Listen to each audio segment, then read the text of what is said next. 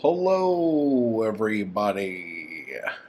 Um, so today, what I'm doing is I have been unpacking books, and I'm getting ready to sell a lot of books. So I'm taking some time to clean them up and get them all nice and ready for stuff. And so um, they're a little, they're in a little better shape um, than they are now. Um, I have um, a lot less space now, and I have limited bookshelf space. So, with that said, I would rather have a bookshelf full of stuff that I really super duper want um, than stuff that is just interesting to have, let's say. So, um, in these videos you're going to be seeing, you're going to see books that I read and probably will never read again. Um, or you're seeing books that I picked up for some freaking reason and they're either duplicates or different covers or um, things like that that um, I'm just trying to whittle down what I have. And um, already um, the amount of dust is already getting to me. So we are going to try to fix this stuff up. So I got my my cleaning and repair apparati and um, everything else. And this is my painting table. So um, the table looks a bit grungy, but um, the majority of that is um, paint or ink or scratches or um, well, right here is red wine. So um, let's just get to it. So this book I've had for a really long time. Um, it is a book on the gun, um, the Fighting Forces series, the story of the gun and the guerrillas. Um, tells you all of these standard military books and manuals. Um, yeah, so warfare, three dollars. Um, so yeah, so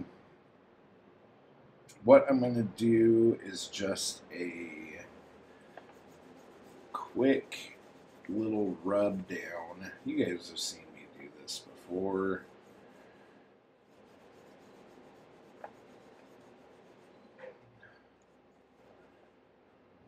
Feels better. That feels like it was a sticker at one point. Can I get that off with that? I might have to spray it. Man, this, the interior pages of this are a lot worse than the cover. So let's try to get in here. It's a very tight, very tight um, binding on this. I got to be careful because some of these pages are quite old. Well, actually, all the pages are probably the same age.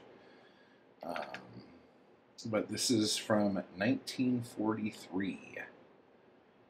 Uh, some of the corners of the pages have been cut or ripped or torn. This one here is just folded. Let me see if I could get, nope, that just came right off. Okay, so I probably won't do that anymore. But yeah, that paper is very brown and aged. All right. So now we're just going to take it and put it in a little baggie. And this guy, if I could get him in here, will be off to the races. So yeah, I'm going to probably be selling these on eBay. Um, little eBay store action. So uh, I just um, made a new eBay account some of them I might put up on um, Etsy if I notice that some uh, genres do better on Etsy. Now, this, the Terminal Man, I love this cover because it's one of those die cut mumbo jumbos. This looks like someone went around it with a pen. I don't think that's supposed to look like that. I don't know if you could see that. Is that is that a pen? Did someone go around it with a pen? Being cute and clever? I don't know. We will see. Or probably not. I just never really got into Crichton. Never, never a huge fan actually do a little bit of that. Oof. Get some polish in here. Get some of these little smudgies off. If I could get it, that one just doesn't want to come off. I'm sure it takes a bit of elbow grease.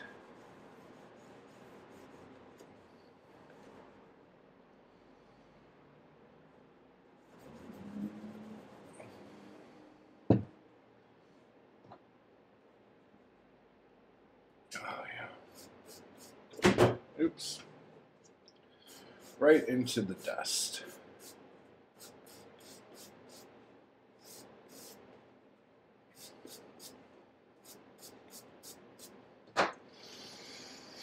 Yep. I don't know if this will fit into one of these bags. This is a.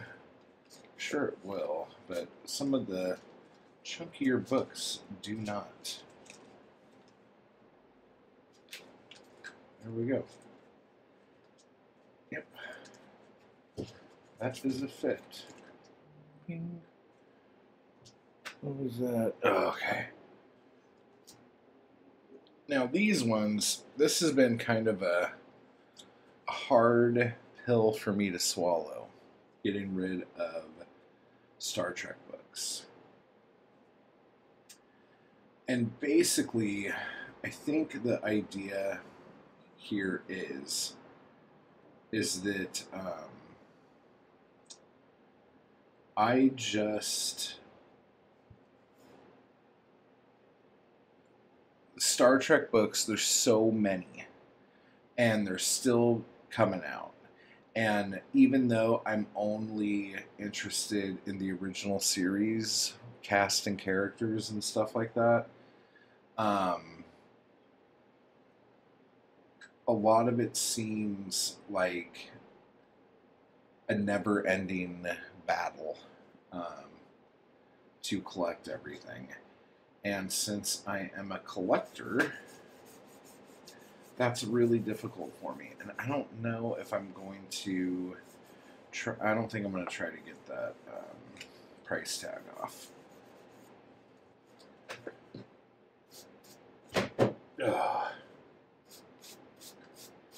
Now, if this was a book I was going to keep, I would try to get the price tag off. But it's a little banged up. Cover's a bit torn.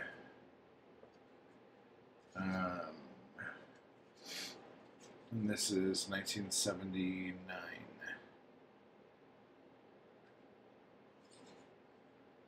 Yeah.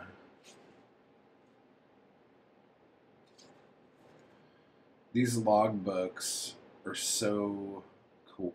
And I think I do, I remember doing a video where I was like, I don't know what covers I like better. If I like these ones or the other ones. Um, and I'll show you the other ones here in a minute. Um, but yeah.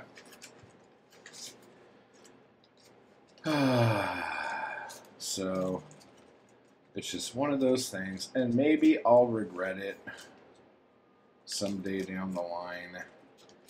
Um, but as of right now, I'm okay with it. Especially since I didn't have a complete set of. Oh, this one looks a lot better. This is nice. This is log 10. But yeah, these are um, adapted from the animated series, and all of these. Oh, that is just some nasty stuff right there. I could probably get that off. Let me try to get that off. Should probably let that sit on there. Just got some sticky. I don't know if you can see that. But anyway, yeah, so Alan Dean Foster made some books based off of the animated shows. And uh, it's kind of cool.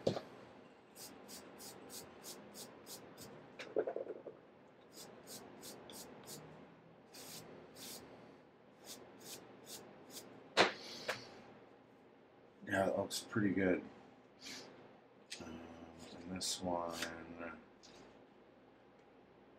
first edition, 1978.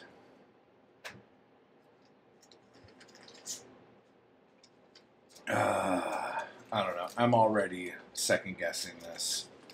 Maybe I'll hang on to these. I would just like to get a complete set of the kind I like, which I think is these ones. I, I do like this, like, computer deck kind of thing. And here's log three.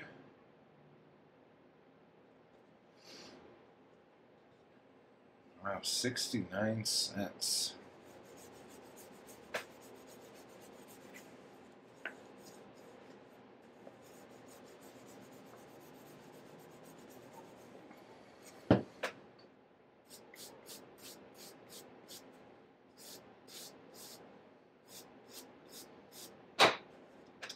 Pages in here got a little messed up, and I'm afraid to unmess them up. Because last time I tried to unmess up a page, it came off in my hand. Let's see if I can fix these guys. Nope, come on. There we go. That looks a little bit better. Uh-huh. Come on. There we go. If I could unfold these when I get them in the bag, they should stay put. Come on. Oh my god, this one does not want to move.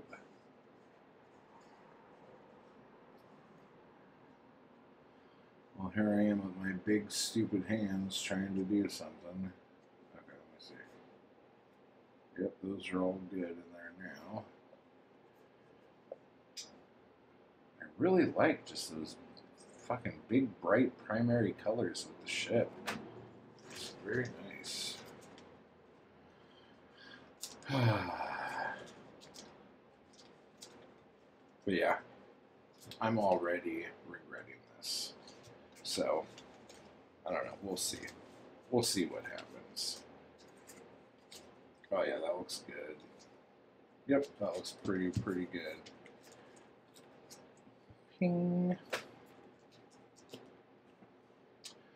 Um, now here is the, I think this is the original cover art for these things. Oh, and a piece of the cover just came off right there. Huh. Do I glue that back on? What should I do? I can't even pick that up. Um, yeah, so first time in print. So this has to be the 74 edition, I would assume. 75 first printing. And this has the Terratin incident, time trap, and more tribbles, more tribbles. oh man. Yeah, so this is log four.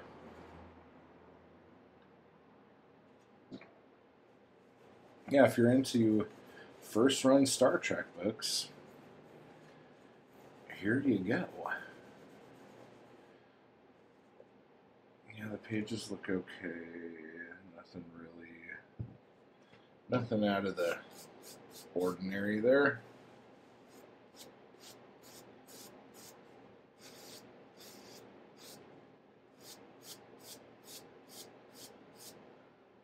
Oh wow, that really cleans up.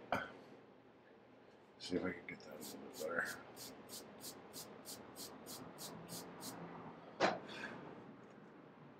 Yeah, and um, I'm pretty sure that is a still from the animated show. Can you see that? You want me to get closer? Yeah. Okay. Yeah, these ones are cool because they are the first prints, but I don't like them as much. uh, me.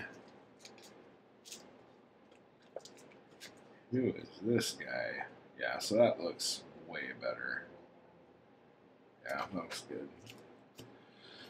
Okay, and now we got more Michael Effin Crichton. This one's called The Naked Dude. A huge bestseller, now a great movie.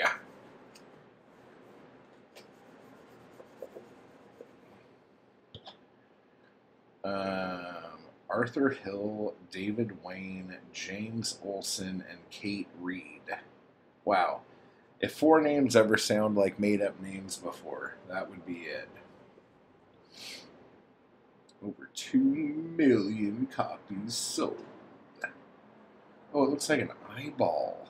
You see that? I never noticed that before. That's amazing. Okay, let's Oh yeah, this book's in really good shape.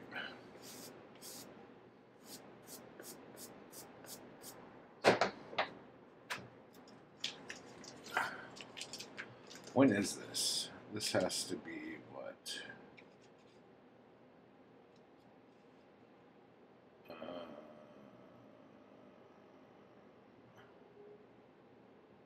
bull crap, 1971. No way. This is a 1971 edition? Really? Kind of looks like it with this thing, but everything else. Huh. It's in really good shape. I don't think anyone ever read it. Maybe they just went and saw the movie and then put this on the shelf. Huh. Dun dun. That looks really snazzy. That is a just a really clean looking book right there. All right, now this one, this was a stripped issue of um, Log 5, which kind of sucks that it's stripped. I don't know what I could actually do with this now.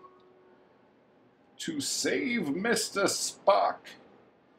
If we don't have that strobolin in 24 hours, he'll die, McCoy stated flatly. Oh, that wasn't very flatly. I should have done that better. Um, yeah, this is 75. Damn stripped fucking books.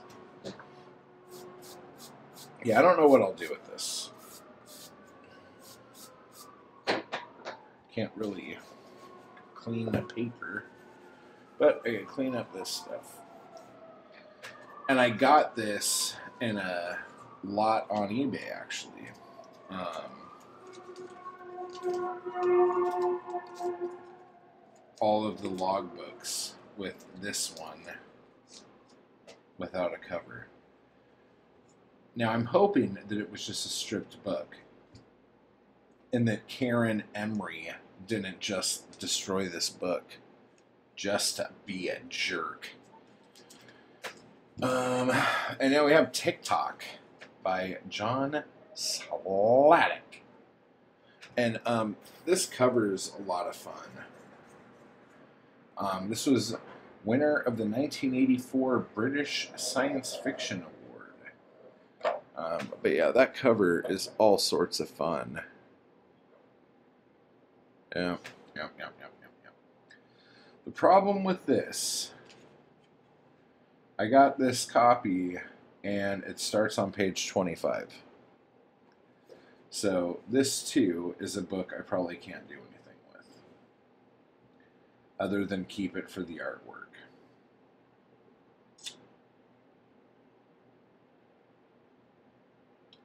I don't know. Maybe there are people on eBay that take broken down books for some reason.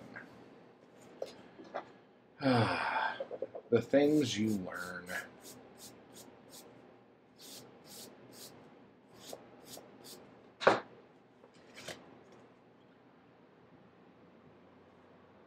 Yeah, I remember some of the pages were missing, and I was like opened it up to see like what year it came out, and I was guessing it was '84, but I assumed that this would be a different uh, printing of it. But a robot shall not injure a human being or through inaction allow a human being to come to harm. Asimov's first law of robotics.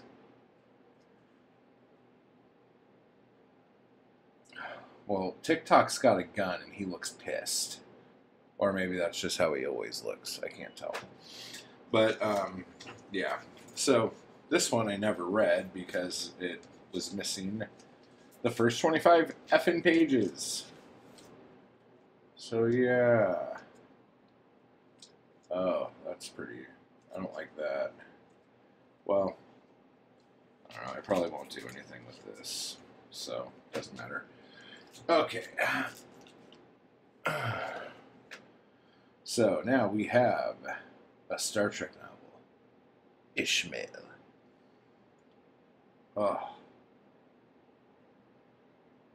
Painted covers, man. Look at that. Just look at it.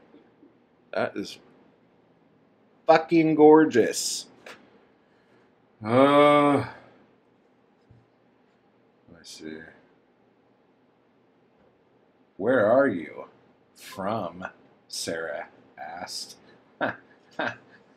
you see what she did there?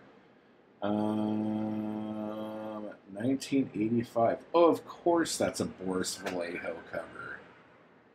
Because it's effing amazing. Price 350. Ooh. This is so hard, guys. I really don't want to be doing this. Did another piece of cover come off, or that was from the other book? Okay. Yeah, I really don't want to be doing this. This is kind of breaking my heart a little bit. Oh, God. Maybe I won't do it. Fuck. Oh, that is gorgeous.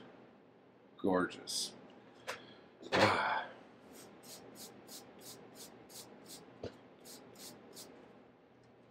and it is in my wheelhouse. Ugh.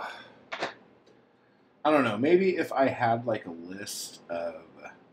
See, the other thing is, is that oh, it's raised lettering. Oh my god. Oh yes, look at that. Um, the other thing is, I have all the Star Trek books in ebook. So, um, well, like all of them up until about like, uh, say like three years ago. So, I mean, all the ones that I would want, I have at least in that form. So, what do you do then? Like, do you just say, fuck it, I need the shelf space and go to town?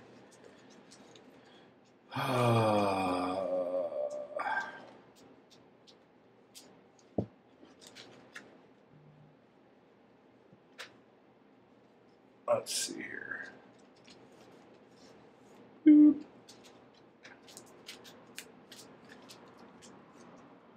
Yeah, so there is a little tear there and up there. Doesn't look too hot. That looks good. The pages are amazing. The pages look great. Fucking hell, dude. Boris Vallejo, dude. And it's so weird because, like, one of the staples of the original series is that they always would go to, like, places that looked like Earth from the past or these weird, like, alternate um, Earth type deals. I don't like that. What the fuck is that? But the only reason why they did that was because they were on the back lot and there were all of these like sets built that they could use. So they were just writing stuff based on what sets they had and shit. And so you end up, even though that was like one of the things about Star Trek that I always thought was kind of hokey. I'm like, oh, come on. And a lot of people loved it. Um, I would rather them just be on the ship and shoot other ships or whatever. But because that was such a staple, you end up having a lot of the fiction or fanfic or whatever you want to call it, pastiche. Um, oh, that feels so good. Um, where they would do stuff like this. And um, I don't know. It's just what's a good way to describe it? Like where you do something I don't know, like uh, like it's almost like okay, this is probably a horrible example, but it's probably like um, you know in Billy Madison. Was it Billy Madison? Yeah, I, am um, trying to use uh, Adam Sandler as an analogy for science fiction. Okay, it's kind of like when um, in Billy Madison that kid peed his pants and he was all worried that people were going to go, oh, he peed his pants. So then Billy Madison threw a bunch of water on his pants and he's like, hey, look, all the cool kids are peeing their pants. So then all the kids on the bus pee their pants. Um, so that kid wouldn't feel bad. Like that's that's what I that's what that reminds me of. Um, probably not my best work in analogy circles. Well, I'm exhausted. Um, I'm gonna do some more at a later date, and um, once I get my eBay shop and stuff like that up, I'll put a link in the description of this video. Um, and if you're interested in any of these, that's where they'll be.